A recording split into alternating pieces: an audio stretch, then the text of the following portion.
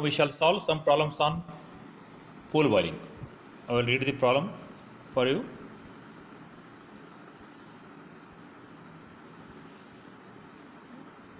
So water at atmospheric pressure and saturation temperature is boiled in a 25 centimeter diameter electrically heated mechanically polished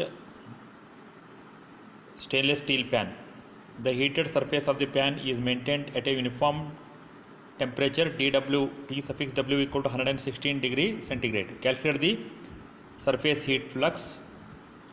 Calculate the rate of evaporation from the pan. Third bit is calculate the peak heat flux. Now physical properties of saturated water and vapor we can get from the data book CPL equal to 4216 joule per kg degree centigrade HFG is also given.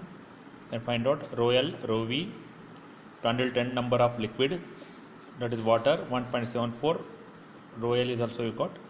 Then sigma dash sigma dash we can surface tension value. We can get from this table surface tension and CSF value. We can get from the tables so I will show you. It is water mechanical water mechanical polished stainless steel. For water mechanical stainless steel stainless steel pan. See this table I have show, explained you. This is the surface tension value. Liquid vapor surface tension value at 100 degree. For water it is what 100 degree centigrade is. Let's see here 100 degree centigrade. This is the values of liquid vapor surface tension rho no, rho for various liquids.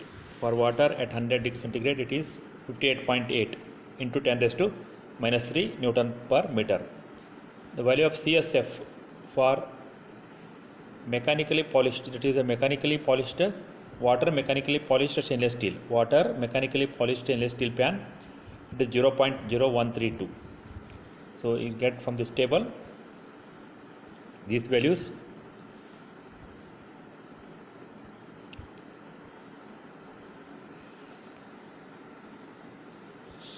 so CSF equal to 0.0132 and uh, sigma dash equal to 58.8 into 10 raised to minus 3 Newton per meter. So we know this expression. This is expression is used for CPL delta T divided by HFG PRL raised to n is equal to CSF Q by mu L HFG root of sigma dash by G by G rho L minus rho V raised to 0.33. This is the expression for finding the heat flux during nucleate boiling. Substituting the other properties like mu L, HFG, PRL and CSF and sigma dash values, we will get the value of Q as 5.61 heat flux that is 5.61 into 10 raised to 7 as 10 raised to 10 raised to 5 watt per meter square. The rate of heat transfer will be area into Q 5 by 4 d square into area of the pan is 5 by 4 d square into this 5.61 into 10 raised to 5 watt per meter square. We will get the Q. It is in watt 0.275 into 10 raised to 5 joule per second. Joule per second. Then joule per second. Then rate of evaporation will be equal to m equal to q by capital q by hfg it is 0.275 into 10 raised to 5 divided by 22.57 into 10 raised to 5 into 3600 it is 43.9 kg per hour. So then the expression for the peak heat flux also you know it is q max q max equal to 1.14 into 0.131 rho v. raised to 1. Point, rho raised to 1 by 2 hfg sigma dash g rho l minus rho v raised to 1 by 4 substituting these values also all the values are known to you. This is rho l rho v sigma dash. Substitute the hfg values you get the peak heat flux.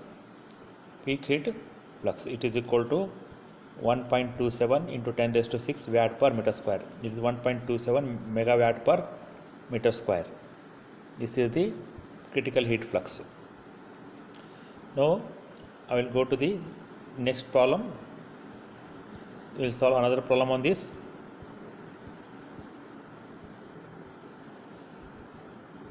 So here I will read the problem for you.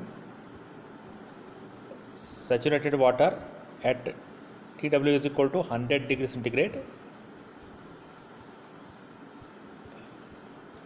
is boiled with a copper heating element having heating, heating surface A equal to 4 into 10 raised to minus 2 minus 2 meter square which is maintained at a surface uniform temperature TW is equal to 115 degree centigrade. Calculate the surface heat, heat flux and the rate of evaporation. So same expression is there only the value of CSF and sigma dash we have to find out for the water copper, water copper. The coefficient CSF is equal to 0.013 and and for sigma dash at 100 degree centigrade is already you know 58.8 into 10 raised to minus 3 substituting these values and we will get a similar similarly we will get value of q then area of rate of heat transfer equal to q in area into q. Area is pi by 4 d square into q. We will get 19.36 kilowatt. So rate of evaporation m equal to q by hfg so 19.36 into 10 raised to 3 divided by hfg 2257 into 10 raised to minus 3 we will get into 37600 you will get 30.9 kilo kg per hour. Rate of evaporation will be 30.9 kg per hour. So another another problem here it is also there. If the heating element were made of brass instead of copper what is the heat flux? Instead of brass copper is csf is equal to 0.013 for copper. For brass csf is, is equal to 0.006 referring the ta table csf value for brass. And water will be 0.006 then you know everything other all other things are same. Only the csf value changes. Q water divided by q water copper equal to csf water copper divided by csf water brass raised to cube. So q water brass will be this. Q water copper into csf water copper divided by csf water brass raised to cube. So we'll get 4.93 into 10 raised to 6 watt per meter square. So this way you have solved some problems on the nucleate pool boiling. Thank you